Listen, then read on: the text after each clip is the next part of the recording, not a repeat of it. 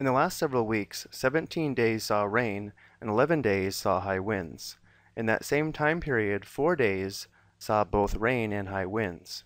How many days saw either rain or high winds? We just solved this problem using a Venn diagram. This time, let's use a definition used to determine the number of elements in a union of two sets. So to get us started, set R represents the set of days that saw rain, and set W represents the set of days that saw high winds.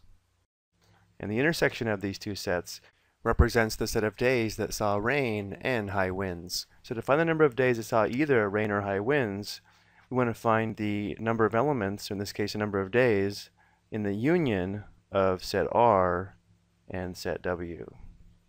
The formula for this says the number of elements in R union W is equal to the number of elements in set R, which would be the number of elements in this set here,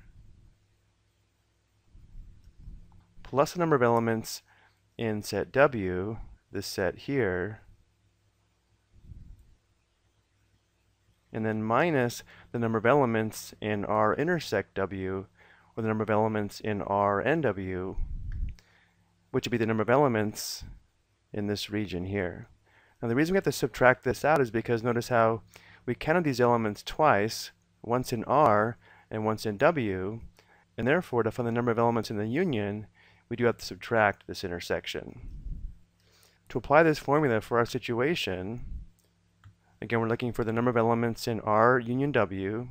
We'll take the number of elements in set R, which is the number of days that saw rain, which is 17, add the number of elements in set W, or the number of days that saw high winds, which is 11, and then subtract the number of elements in R intersect W, which represents the number of days that saw both rain and high winds, which is 4.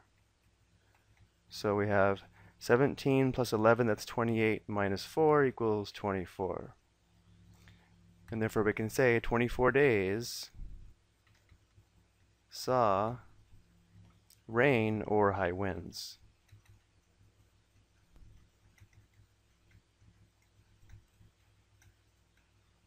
Regardless of our approach, of course we do get the same result. I hope you found this helpful.